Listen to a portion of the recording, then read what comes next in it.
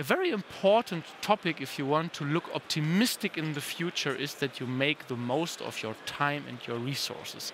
AI tools can help with that and can be a real booster for the brains inside the company. And we have introduced an AI tool for automation technology, TwinCAT Chat. For TwinCAT Chat, Janis, you are the expert, but I heard TwinCAT Chat is dead. Long live the CoAgent, right? Yes, you're right. So we started the beta phase soon, and it was a moment when we think about, once again, about the name. Okay. And we find that agent is so much more fitted to our product or the capabilities our product now has because we use generative AI agents inside. Okay. Agent sounds to me very capable, but also quite dangerous. So what is an agent in automation technology? Yeah, uh, he has a possibility to ask, for example, for information from our info system or change something in the project. Okay. But you always uh, have all things under control. Okay, what kind of different agents do we have available or do we want to make available? Yeah, we start now with the PLC agent, of course, where you can create PLC code. Mm -hmm. uh, so I'm transferring a prompt, a text, into actual PLC code. Yes, you can describe what you want to have the natural language, and then he gives you example based on the info system. For example, you can search there and give you a perfect fitted uh, yeah, sample code for your request. Wonderful. What other agents do we have?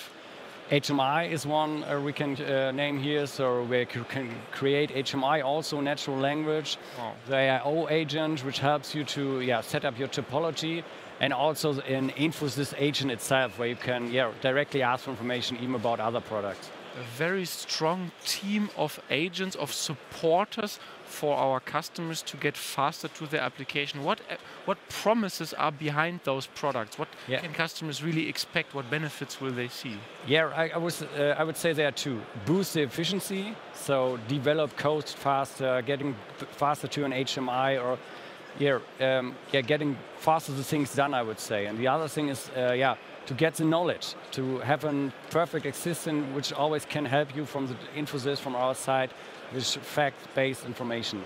So you can just ask what kind of supply voltage do I need for the Explanatile, for example. For example. Okay. Maybe you can give me one last example for that. Do you have like a specific one which is maybe a new example?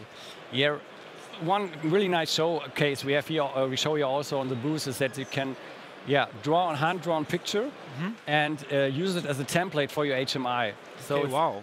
Yeah. It's not even a language model, or it's not even language, it's a picture which is now entered. Yeah, the models right now we, that we use, for example, like ChatGPT are multi-models, so you can use images, you can use voice, or you can use text. And so it's so much easier, for example, for when you think about commissioning a machine, you'd need a machine just to test some functionalities in one minute and a short drawing, then you have a, a, yeah, an HMI to test the machine. Wow. Language to code, picture to code, future maybe thoughts to code. Okay, yeah, let's see. We, we will see. okay. Thank you very much, Janis. Um, I wish you a pleasant day here in the TwinCAT area and see you later. Bye. Likewise.